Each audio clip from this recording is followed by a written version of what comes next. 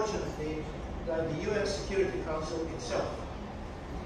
The Cyprus issue is an issue of status.